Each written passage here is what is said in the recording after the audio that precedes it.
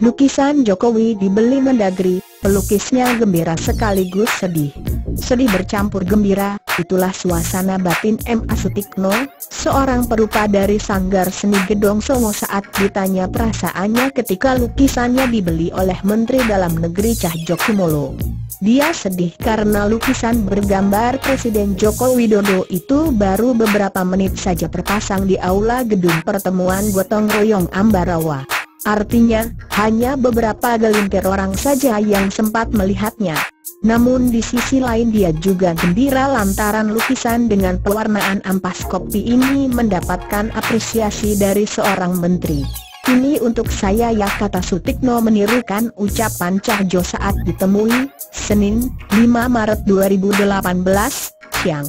Mendagri Cahjo Kemolo, Sabtu, 3 Maret 2018, malam, meresmikan patung Dr. Cipto Mangun Kusumo di Simpang 3 Tugu Jam Pasar Gamblok Ambarawa.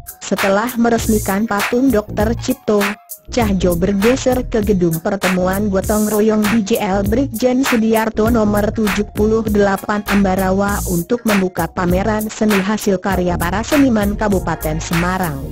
Pemeran yang menampilkan hasil karya seni para seniman Ambarawa ini dijadwalkan berlangsung hingga Kamis, 8 Maret 2018, mendatang. Selain lukisan miliknya, Cahjo juga membeli satu lukisan lagi milik seniman Kabul, yakni lukisan wajah seorang gadis. Ada dua lukisan, yang satu wajah gadis. Beliau kok sekiranya seneng yang minimalis, ujarnya. Saat ditanya berapa Cahjo menawar lukisannya, Sutikno enggan menjawabnya. Sutikno berkilah bahwa kesepakatan harga diserahkannya kepada pihak panitia pameran.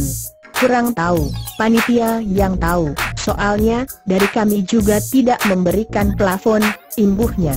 Sutikno yang juga pegiatosan aji atau pelestari pusaka-pusaka ini menceritakan bahwa lukisan bergambar Presiden Joko Widodo tengah mendalam ini sebenarnya ia persiapkan untuk sebuah pameran di Unika Sugiya